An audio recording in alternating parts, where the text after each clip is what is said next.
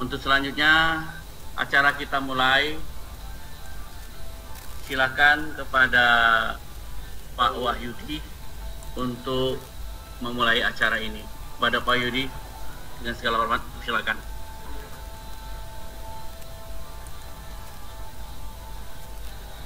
Assalamualaikum warahmatullahi wabarakatuh. Waalaikumsalam warahmatullahi wabarakatuh. Selamat pagi, salam sejahtera untuk kita semua. Yang kami hormati Bapak narasumber dari BANSM, Bapak Profesor Dr. Aris Penalar MPD. Yang kami hormati Ketua BANSM Provinsi Jambi, Bapak Haji Muhammad Saleh SPD MPD. Yang kami hormati Sekretaris BANSM Provinsi Jambi, Bapak Dr. Handes Abdus Somad MPDI dan seluruh anggota Bapak Ibu dan seluruh Bapak Ibu anggota BNSM Provinsi Jambi dan para peserta penguatan kapasitas asesor ke-1 BNSM Provinsi Jambi dan tim sekretariat yang berbahagia. Puji syukur senantiasa kita panjatkan kehadirat Allah Subhanahu wa taala karena pada pagi hari ini kita semua diberi karunia dan rahmat sehingga bersama-sama insya Allah dalam keadaan sehat dapat mengikuti kegiatan pada pagi hari ini. Salawat dan salam kita sampaikan kepada Nabi besar Muhammad Shallallahu Alaihi Wasallam dengan mengucapkan Allahumma sholli ala Sayyidina Muhammad wa ala ali Sayyidina Muhammad. Semoga kita mendapat syafaatnya di hari akhir nanti. Perkenankan saya Penia yang akan memandu acara pembukaan penguatan kapasitas asesor Barisan Provinsi Jambi ke-1 tahun 2021 dengan mengangkat tema melalui kegiatan penguatan kapasitas asesor ke-1 tahun 2001 kita tingkatkan profesionalisme asesor dalam mengimplementasikan IASP 2020 menuju pendidikan bermutu.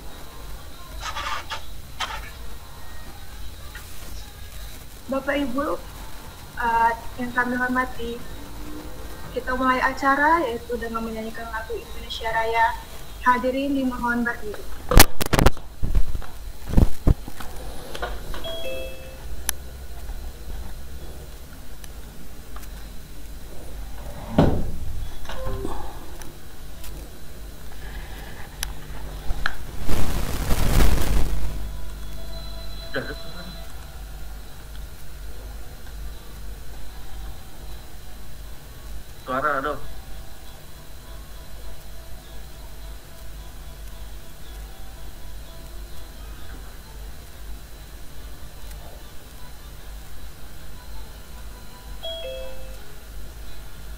Siapa? Atas.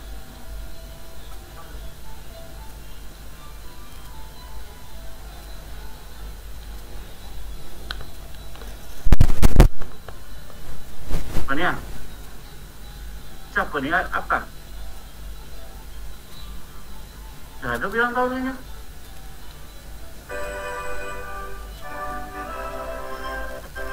Bangunlah jiwanya Indonesia Raya. Indonesia Raya Merdeka, merdeka. Hidupku negeriku yang ku cinta Indonesia Raya Merdeka, merdeka. Hiduplah Indonesia Raya. Indonesia Raya merdeka merdeka. Indonesia negeriku yang ku cinta Indonesia Raya merdeka merdeka hiduplah Indonesia Raya.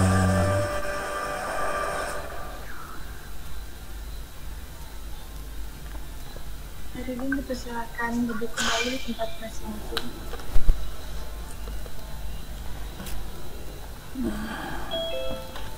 Mohon maaf ada uh, trouble di awal uh, dan dengan menyanyikan Indonesia Raya, semoga terus mengingatkan kita kepada negeri yang tercinta ini. Nah, baik Bapak Ibu, acara selanjutnya untuk mengawali acara kita pada pagi hari ini ada baiknya kita mari bersama-sama berdoa yang akan dipimpin oleh Bapak Dr. Handes Muhammad Tarif MPDI kepada Bapak kami persilakan dengan hormat.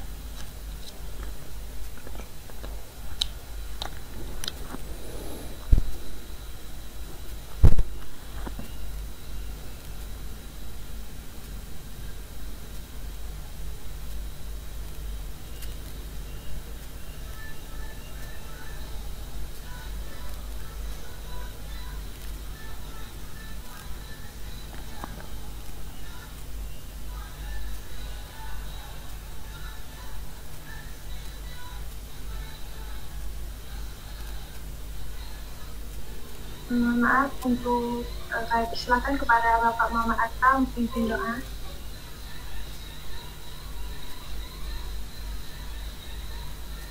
Assalamualaikum warahmatullahi wabarakatuh. Waalaikumsalam.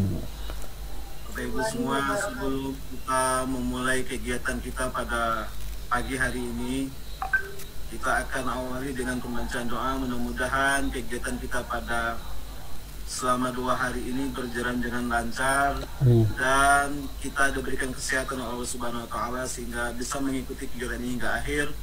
Yang bagi yang beragama Islam akan saya pimpin dan agama lainnya untuk menyesuaikan. Auzubillahiminasyaitonirrajim Bismillahirrahmanirrahim. Hamdan syakirin. حمدا شاكرين حمدا يوافي نعمه ويكافي مزيده.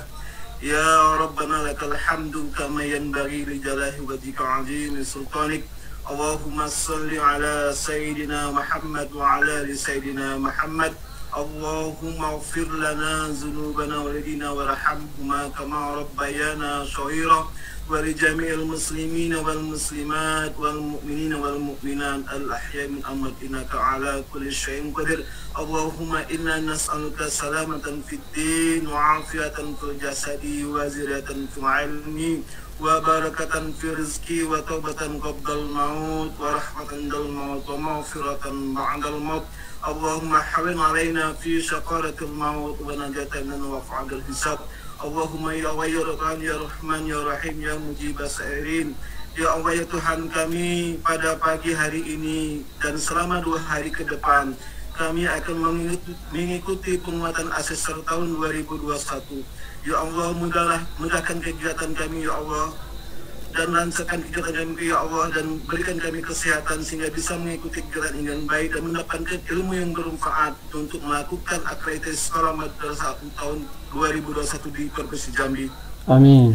Ya Allah ya Tuhan kami berilah kami ampunan ya Allah bila ada kesalahan dan berilah kami ilmu yang bermanfaat hingga bisa menjadikan akreditasi menjadi salah satu penyemutu di pendidikan di Provinsi Jambi ini ke depan. Ya Rahman, Ya Rahim, Ya Mujib Sairin Rabbana atina fi dunya sana wa fil akhirat sana wa kina ala benar Sallallahu ala sayyidina wa Muhammadin wa ala alihi wa ashabi Rasulillah ajma'in. Subhana rabbika rabbil izzati amai yasifun. Salamun ala al-mursalin. Walhamdulillahi rabbil alamin. Kasih kepada Bapak Muhammad Atta. Semoga apa yang kita dengarkan akan didokong oleh Tuhan Yang Maha Esa dan membawa keberkahan untuk kita semua. Amin ya Rabbal Alamin. Selanjutnya, untuk mendapatkan gambaran acara secara menyeluruh, marilah bersama kita dengarkan laporan Ketua Pelaksana yang akan disampaikan oleh Bapak Dr. Adi Putra, SPME, kepada Bapak waktu yang tepat kami persilahkan dengan hormat.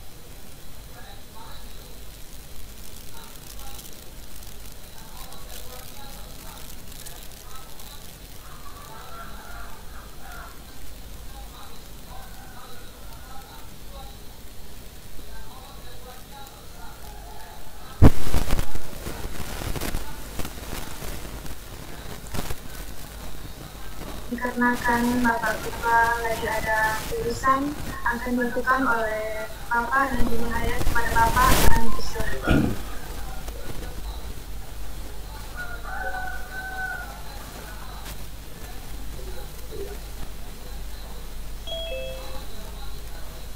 Assalamualaikum warahmatullahi wabarakatuh Waalaikumsalam warahmatullahi wabarakatuh.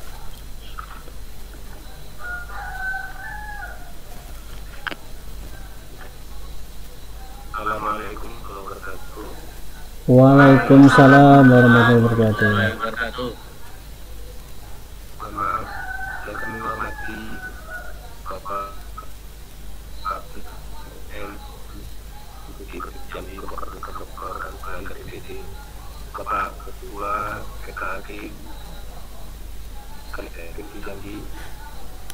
Bapak Ibu anggota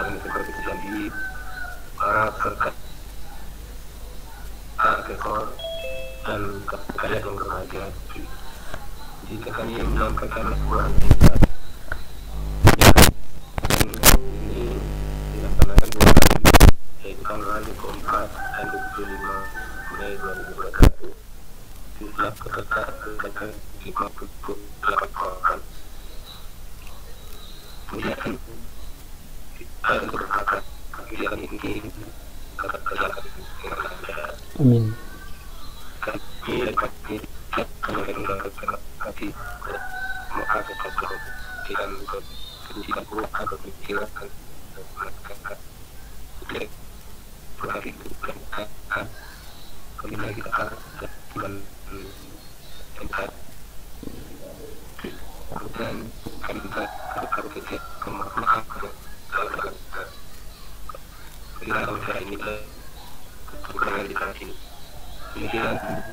Al-Quran dan kami kata Assalamualaikum warahmatullahi wabarakatuh Waalaikumsalam warahmatullahi wabarakatuh.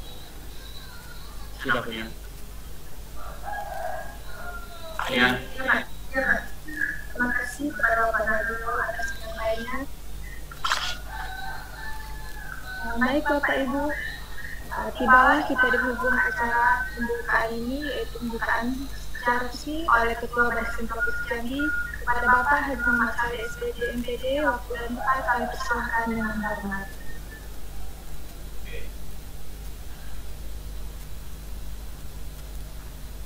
Assalamualaikum warahmatullahi wabarakatuh. Waalaikumsalam warahmatullahi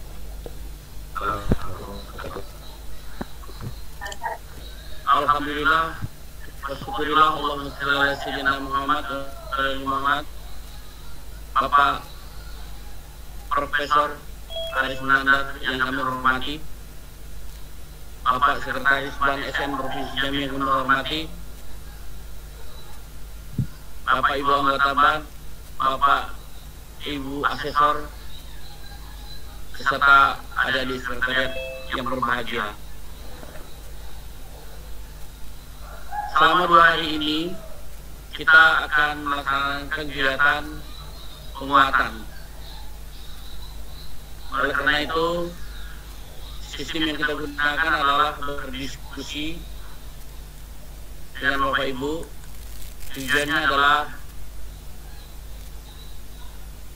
agar yang tadinya lemah itu bisa kuat. Gitu. Jadi yang namanya kuatannya gitu, yang lemah-lemah itu bisa kuat.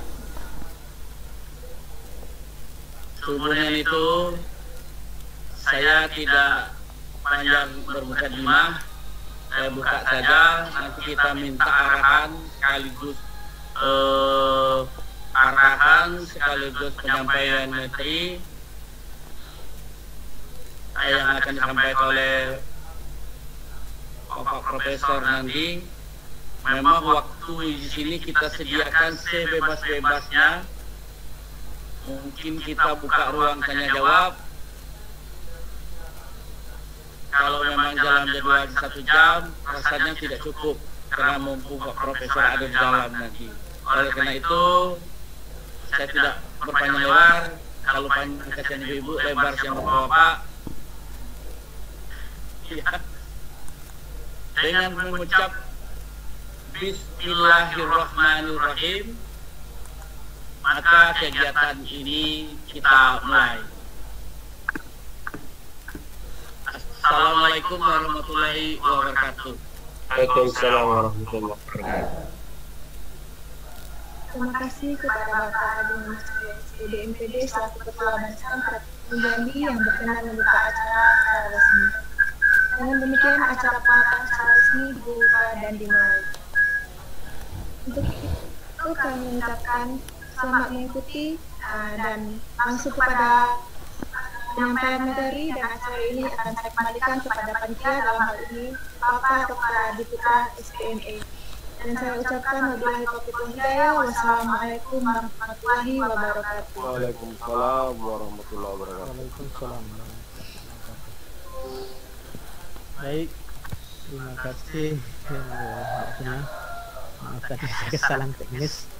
Jadi ada Pak Sekretaris kita Pak Pelaksana Pak Najimul yang ngaji ya. Eh, terima kasih eh, Bapak Ibu, eh, Bapak eh, Prof. Haris yang saya hormati yang sudah ada di room kita pada hari ini. uh, Ban, Pak Sekretaris Ban, uh, Bapak Ibu Asesor yang hadir pada room kita pada hari ini yang uh, berbahagia, uh, semua anggota BAN dan sekretariat BAN yang saya banggakan. Uh, pada sesi ini saya mengambil alih lagi posisinya Pak Najib Hayat. Insya Allah saya akan mendampingi Prof. Uh, Haris dalam waktu uh, mungkin kita meluangkan waktu ada 45 menit. nanti akan berkembang uh, tergantung dari kondisi. ya kita berharap diskusinya uh, sekitar itu gitu. Uh, terus juga nanti mungkin ada pemaparan materi dari Prof. Haris yang terkait dengan mekanisme dan pos akreditasi yang ini akan disampaikan oleh Prof. Haris yang khusus dari materi yang dari ban SM atau ban pusat gitu ya. Jadi mungkin nanti jika di akhir materi ada sesi tanya jawab, kita akan memberikan kesempatan kepada semua peserta untuk uh, berdiskusi atau menanyakan sesuatu yang terkait dengan materi-materi uh, yang yang beliau sampaikan terkait mekanisme dan akreditasi. Baik Bapak Ibu Asesor peserta, saya juga tidak memperpanjang pembukaan. Nah, saya akan mendampingi Prof Haris selama sesi beliau.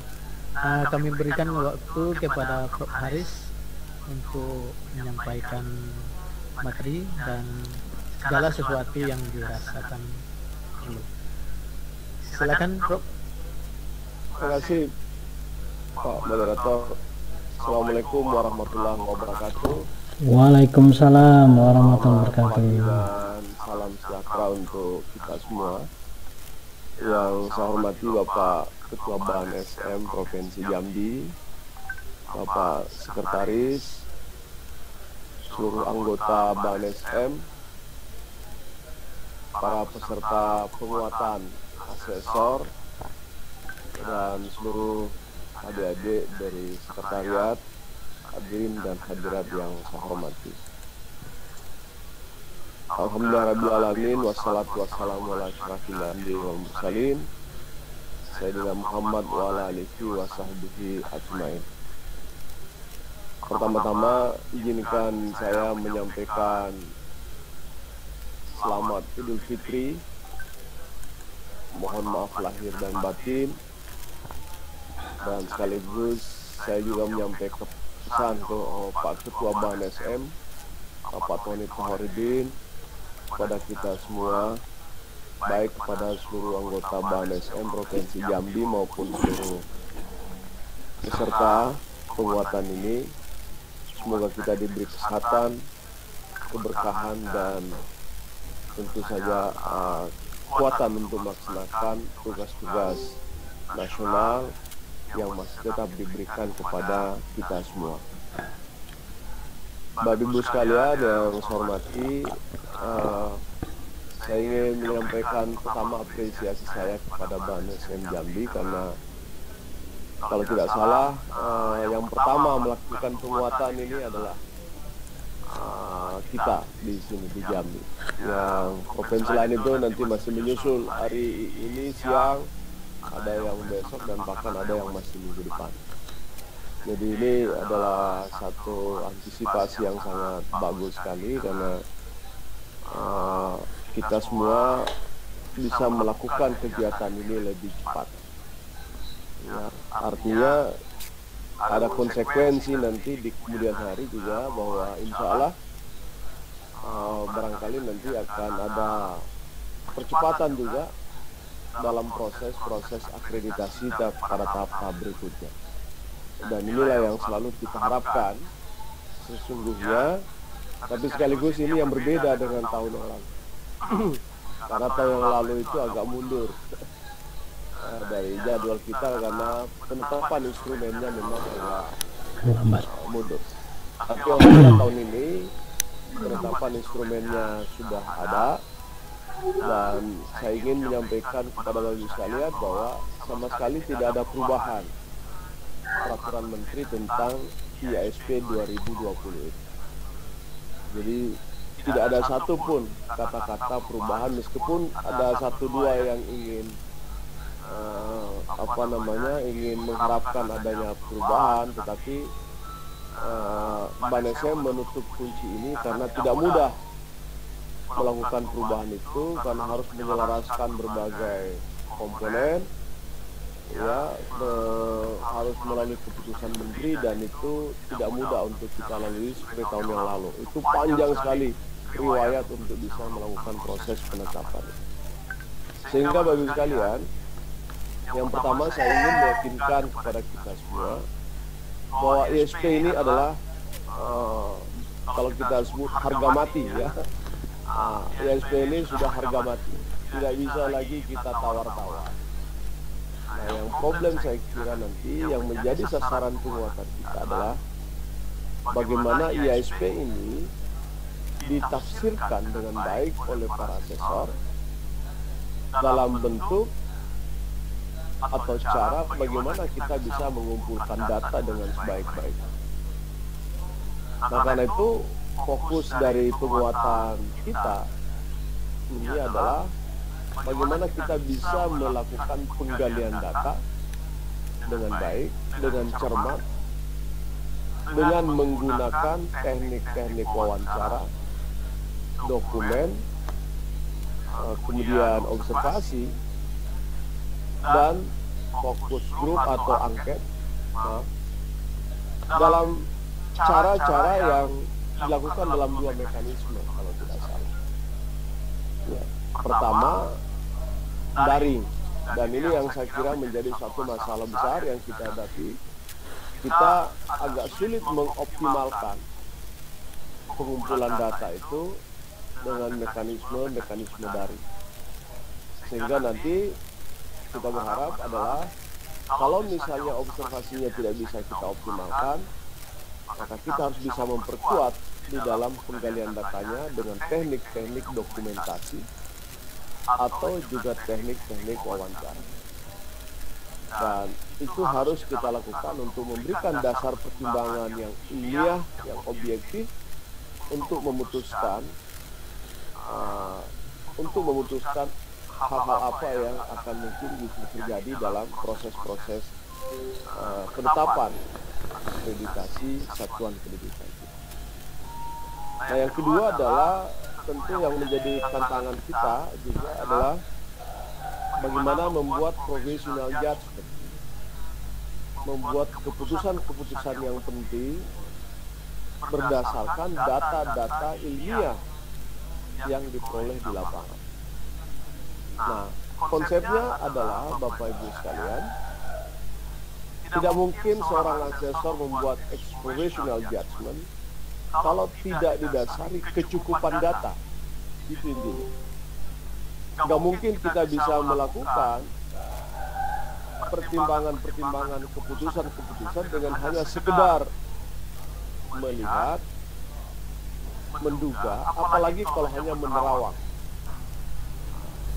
Cara-cara dulu itu boleh kita lakukan. Itu di terawang saja kira-kira kalau begini kira-kira ah, ini pasti gak beres. Yang namanya professional adjustment itu adalah betul-betul kita membuat keputusan berdasarkan fakta-fakta ilmiah. Karena ini ada konsekuensi kemudian. Konsekuensinya adalah apa? Konsekuensinya adalah kita nanti tidak bisa merumuskan rekomendasi yang tepat karena kita tidak bisa menemukan berbagai kelemahan-kelemahan dari satuan pendidikan.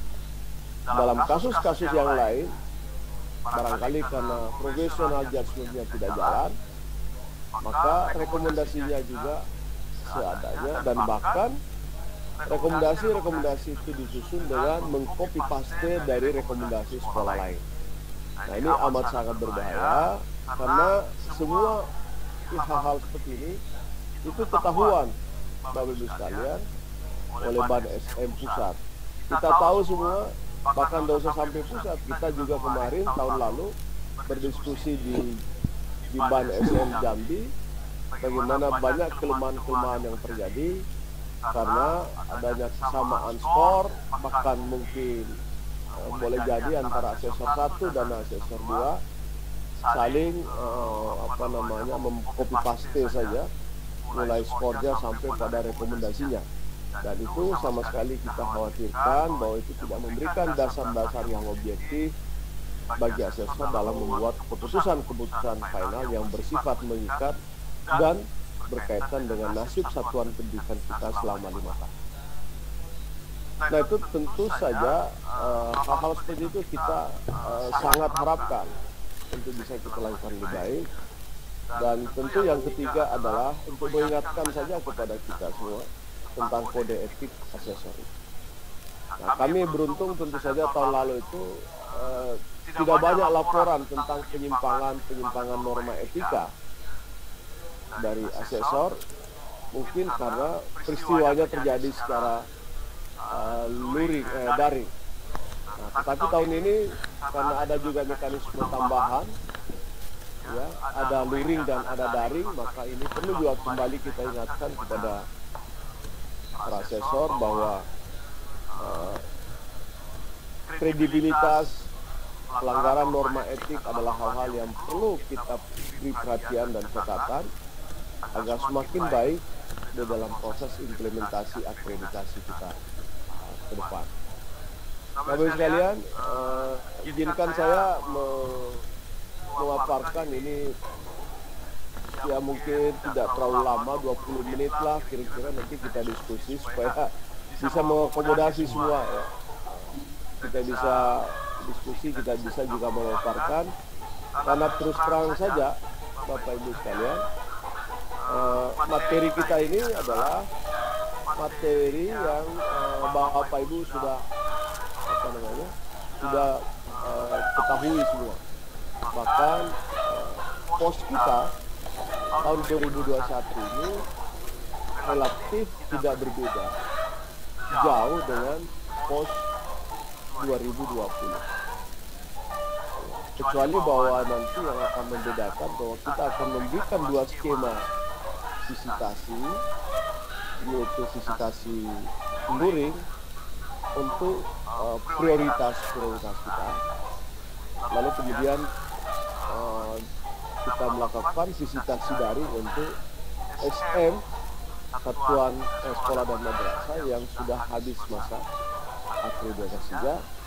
Sembari kita juga menyiapkan satu skenario juga bagi sekalian untuk otomasi. Jadi tahun ini kita akan berharap akan ada tiga skenario akreditasi, satu tetap kita luring, dua daring, dan tiga adalah kita menggunakan otomasi. Tapi otomasi ini masih kita uh, diskusikan terus, kita akan matangkan terus, terutama dalam menemukan variabel-variabel penentu untuk bisa menetapkan status akreditasi dari satuan pendidikan tanpa kita melakukan visitasi. Bagus sekali ya. Uh, penyelenggaraan akreditasi uh, pada dasarnya ya kita akan uh, apa namanya mengakibatkan adanya perbedaan proses dan hasil ya selama ini maksudnya sehingga tidak menggambarkan pencapaian standar yang objektif. Ya itu yang kita mau hindari mengapa perlu ada pos supaya tidak ada variasi-variasi yang tidak dan pos yang kita maksud ini tidak lain dari apa yang delapan langkah ini. Ya, saya sebut langkahnya itu tidak berubah, tetap delapan langkah. Nah tujuan dari pos ini adalah memberikan pedoman, standar, mekanisme dan proses akreditasi. Dua, menjelaskan langkah-langkah kegiatan secara terperinci, teratur, dokumentasi, dan terukur yang ketiga, menjelaskan peran tugas fungsi tanggung jawab dan wewenang pihak-pihak yang terkait dengan akreditasi. Dan yang keempat adalah menjamin objektivitas pelaksanaan kinerja dan hasil akreditasi. Jadi kalau kita nanti di audit oleh BPK misalnya oleh inspektorat kita sudah punya dasar bahwa sepanjang kita melakukan 8 langkah-langkah ini maka keputusan-keputusan itu dapat kita pertanggungjawabkan itu biasanya dilakukan uh, proses seperti itu Nah, dan sekalian isi dari rincian unsur-unsur pos itu pertama itu rasionalnya apa? Yang latar belakang, kemudian tujuan, dan yang ketiga adalah ruang lingkup yang menjelaskan tentang cakupan kegiatan. Kemudian waktu dan waktu dan tempat. Menjelaskan lama, tenggat waktu dan tempat pelaksanaan. Berapa hari, berapa jam, itu semua kita atur di. Kemudian rincian unsur-unsur pos itu berkaitan dengan ada tanggung jawab dan kewenangan masing-masing pihak, kemudian langkah kegiatannya, kemudian dokumen yang diperlukan, dan yang keempat itu adalah menjelaskan produk dan keluaran pelaksanaan kegiatan. Itu Bapak Ibu sekalian. Kemudian Nah ini yang gambar kita. Jadi proses-proses kegiatannya itu kita bisa melihatnya dalam 8 langkah. 8 langkah ini adalah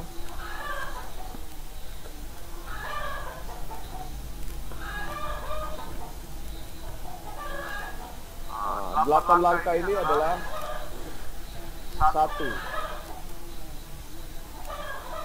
sosialisasi ISP. Dia langkah kedua asesmen kecukupan. Kalau dia layak, divisitasi kita akan lanjut ke nomor tiga. Kalau tidak layak, maka ada pemberitahuan kepada SM. Ya. Dan pada umumnya yang kita visitasi itu adalah yang sudah dianggap uh, memiliki kelayakan ya memiliki uh, istilahnya itu uh, syarat mutlak yang memang benar-benar harus dipenuhi. Nah kemudian uh, visitasi yang kita tafsirkan visitasi ini ada dua cara visitasi secara daring dan visitasi secara luring. Nah, ini yang menjadi perbedaan sedikit karena ya mudah-mudahan uh, apa namanya ya uh, suasana suasana covid ini benar-benar tidak lagi mencekam seperti tahun yang lalu ya. karena saya juga merasa bahwa sudah banyak juga uh, satuan pendidikan kita yang sudah beroperasi kembali sehingga ini akan mempermudah pekerjaan para asesor tapi andai pun nanti uh, tidak ada PBM proses belajar mengajar tetap buka maka visitasi itu tetap mungkin dilakukan dengan melihat aspek-aspek yang lain. Seperti dokumen, melakukan wawancara dan juga mengobservasi bagian-bagian terpenting dari ISP 2020. Nah, kemudian yang keempat, validasi dan verifikasi. Kemudian verifikasi hasil validasi dan penyusunan rekomendasi di langkah 5 lalu di langkah 6 penetapan hasil dan rekomendasi akreditasi. Langkah ketujuh pengumuman hasil akreditasi. Dan langkah ke-8 adalah penerbitan sertifikat akreditasi.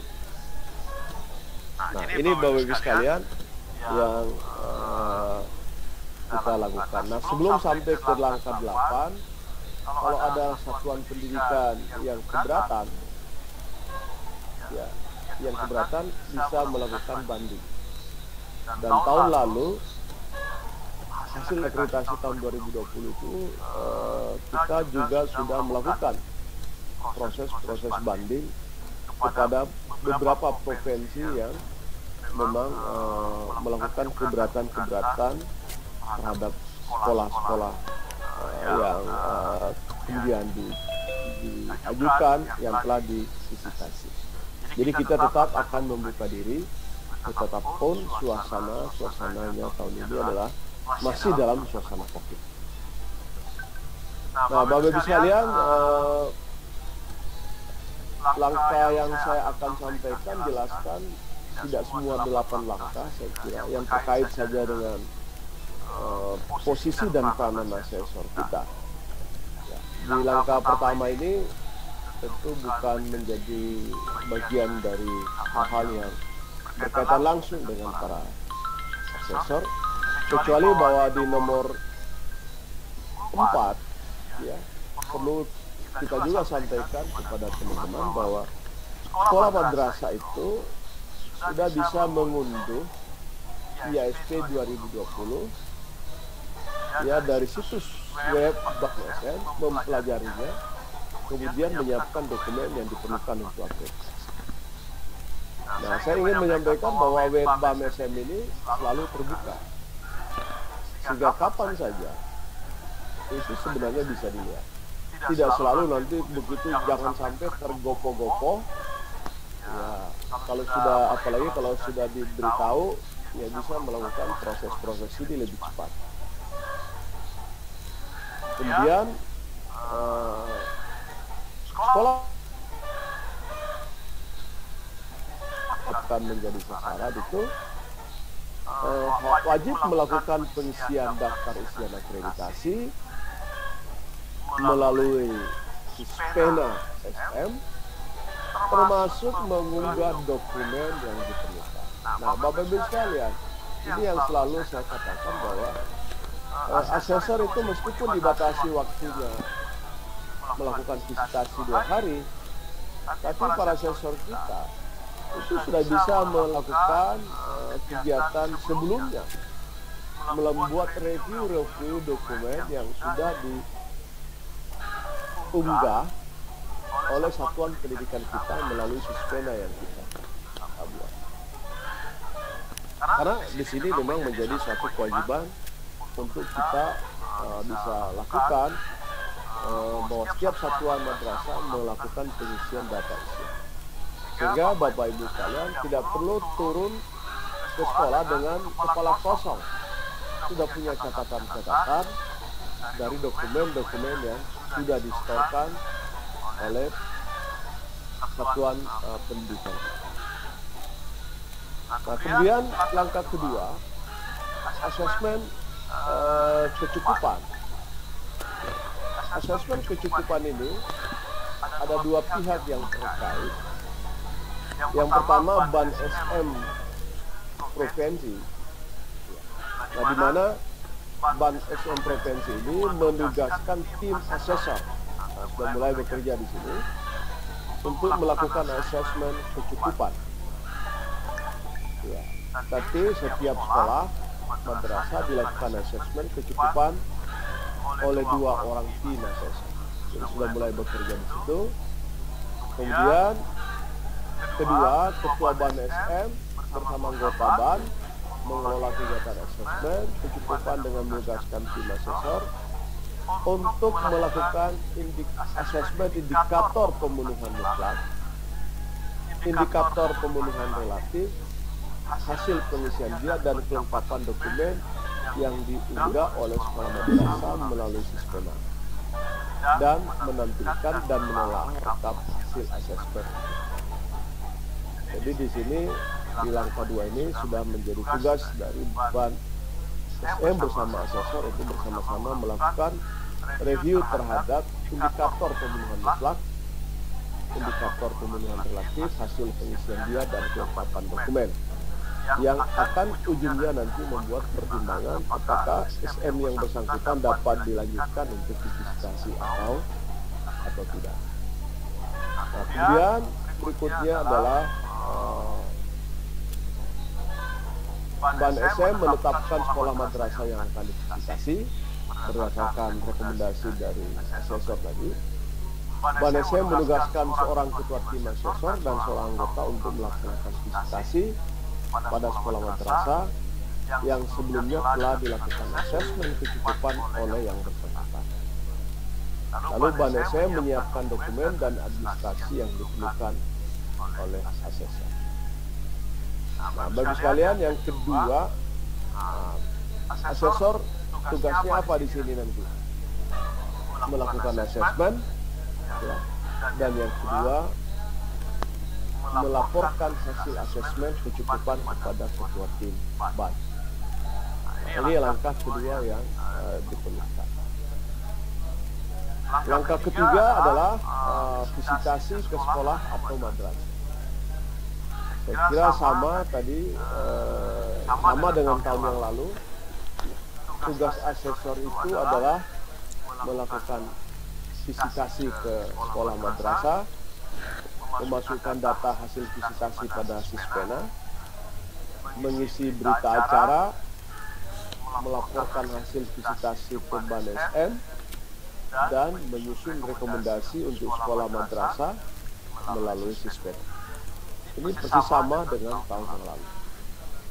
Peran kepala sekolah juga begitu, menerima asesor dalam melaksanakan visitasi, menyiapkan dokumen yang diperlukan sebagai bukti fisik, ya, kemudian memberi kesempatan asesor bertanya kepada warga sekolah madrasah sesuai dengan pilihan asesor. Nah, kemarin itu tahun lalu eh, banyak sekali problem yang kita hadapi di dalam melakukan wawancara kepada para pihak sekolah karena sering kali kalau kita bertanya ke siswa itu didampingi oleh guru. Nah begitu siswa-siswa kita ditanya sambil menjawab sambil menengok ke gurunya. Jadi seolah-olah takut uh, memberikan penjelasan secara objektif. Nah ini teman-teman para asesor. nanti mohon dicari kiat-kiat cara-cara begini ini gimana caranya supaya uh, apa namanya siswa-siswa kita ini tidak merasa diintimidasi dalam memberikan jawaban-jawaban kepada para asesor kita. Kemudian mengisi berita acara, visitasi, kemudian mengisi kartu kendali proses visitasi dan seterusnya. Nah, di sini saya kira uh, full uh, langkah ketiga kita ini para asesor kita sangat berkepentingan dalam uh, melakukan uh, proses visitasi. Nah di langkah keempat validasi dan verifikasi hasil di situ juga ada kaitan dengan peran asesor di nomor tiga ini. Ya, di mana asesor melaksanakan kegiatan validasi dan verifikasi hasil visitasi secara tepat waktu dan sesuai dengan ketentuan. Setiap satuan pendidikan divalidasi oleh dua orang asesor. Nah, ini di langkah keempat. Kemudian langkah kelima, verifikasi hasil validasi. Nah, di sini terkait sudah menyangkut ban utama dari ban SM provinsi bersama ban SM pusat. Akan bersama-sama melakukan verifikasi dan uh, terhadap hasil validasi dan juga berkaitan dengan penyusunan rekomendasi rekomendasi. Nah, jadi uh, secara spesifik uh, peran uh, apa namanya asesor di sini tidak ada. Tetapi kadangkala ketika kita membuat verifikasi kita butuh lagi meragukan ya. Kita masih sering kali meragukan hasil-hasil uh, akreditasi dari uh, asesor sehingga kita perlu kadang-kadang mengkonfirmasi kembali kepada tim asesor untuk memastikan tentang skor satuan pendidikan yang bersangkutan. Ada banyak alasan kita uh, membuat verifikasi-verifikasi. Yang pertama adalah uh, kalau terjadi selisih nilai yang cukup ekstrim antara asesor satu dan asesor dua. Yang kedua, kalau kita mendapati data penilaian atau kesimpulan asesor itu berbeda jauh dengan fakta hasil akreditasi satuan pendidikan sebelumnya. Misalnya sebelumnya dapat A, lalu ini turun menjadi B. Nah, itu kita perlu uh, apa namanya? Kita perlu memastikan betul bahwa penurunan ini uh, tidak membuat kita dibanding nanti atau diuji lagi oleh uh, satuan pendidikan. Jadi semata-mata yang seperti itu sehingga meskipun asesor di sini tidak tertulis uh, peranannya di langkah 5 tapi kadang-kadang masih kita sering kali tanyakan untuk memastikan bahwa skor yang kita berikan itu adalah uh, betul-betul sesuai dengan fakta dan realitas yang terjadi pada satuan itu. Nah, kemudian langkah 6 penetapan hasil ini sudah semata-mata pekerjaannya Ban SM pusat yaitu melakukan pleno dalam rangka penetapan hasil akreditasi.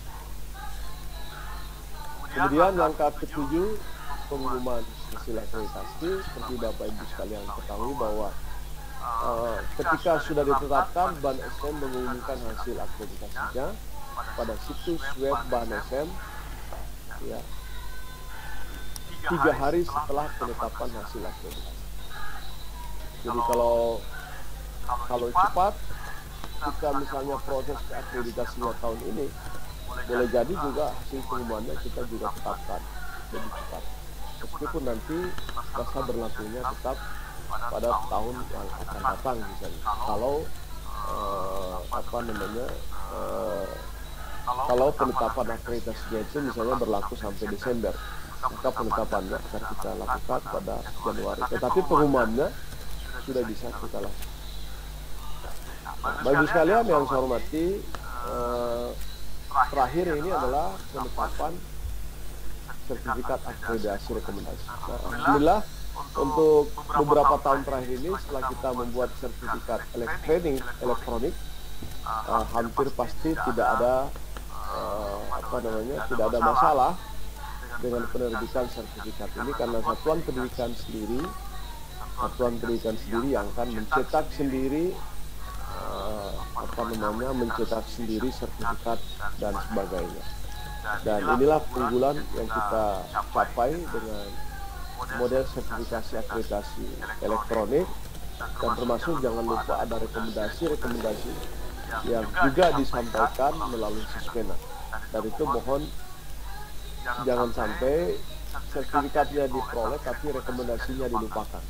Nah, itu juga perlu diingatkan oleh satuan pendidikan nanti untuk bisa memenuhi atau juga bisa mengunduh uh, apa namanya rekomendasi-rekomendasi yang dibuat oleh para asesor kita. Nah bagi sekalian uh, ini adalah teknis-teknis yang nanti akan kita kirim saja kepada Banesem apa bisa pelajari. Tetapi garis besarnya uh, materi ini adalah kembali kepada delapan langkah utama 8 langkah utama yang harus diperjuangkan untuk bisa dilaksanakan dan saya melihat di sini adalah langkah-langkah ketiga sebagai contoh adalah langkah-langkah uh, yang mungkin menjadi contoh saja di dalam proses-proses implementasi kegiatannya di lapangan yang diperlukan oleh para asesor kita. Nah ini terlalu banyak materinya sehingga saya akan cukupkan di sini kita bisa manfaatkan uh, untuk bisa berdiskusi dan untuk sementara Pak Adi saya akhiri. terima kasih. Assalamualaikum warahmatullahi wabarakatuh. Waalaikumsalam warahmatullahi wabarakatuh. Waalaikumsalam warahmatullahi wabarakatuh